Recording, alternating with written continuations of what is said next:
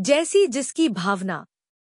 एक बार भगवान बुद्ध प्रवचन दे रहे थे और अपना प्रवचन धत्म कर उन्होंने आखिर में कहा कि जागो समय हाथ से निकला जा रहा है और सभा दत्म होने के बाद उन्होंने अपने प्रिय शिष्य आनंद से कहा कि चलो कुछ देर घूम कर आते हैं।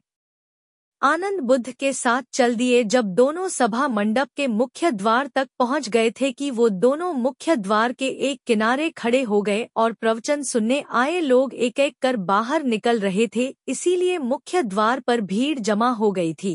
अचानक उनमें से एक महिला बुद्ध से मिलने आई तभी उसने कहा कि तथागत में नर्तकी हूँ, और आज नगर एक बड़े शेठ के घर मेरे नृत्य का कार्यक्रम पहले से तय था लेकिन मैं उसके बारे में भूल चुकी थी।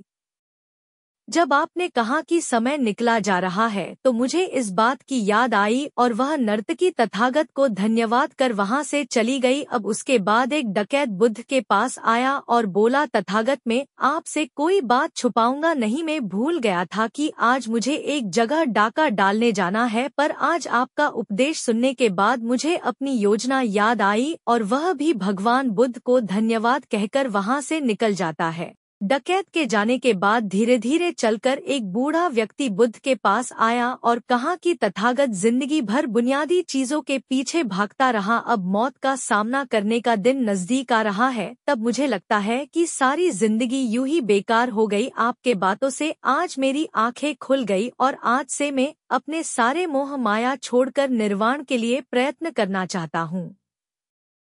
जब सब लोग चले गए तब बुद्ध ने आनंद से कहा, प्रवचन मैंने एक ही दिया, लेकिन उसका हर किसी ने अलग अलग मतलब निकाला और जिसकी जितनी झोली होती है, उतना ही दान वह समेट पाता है। सीख। निर्वाण प्राप्ति के लिए भी मन की झोली को उसके लायक होना होता है, इसके लिए मन का शुद्ध होना बहुत ज़रूरी होता है। अगर आपको मेरी वीडियो अच्छी लगे तो चैनल को लाइक, शेयर और सब्सक्राइब करना ना भूलें। धन्यवाद दोस्तों, मिलते हैं अगली वीडियो।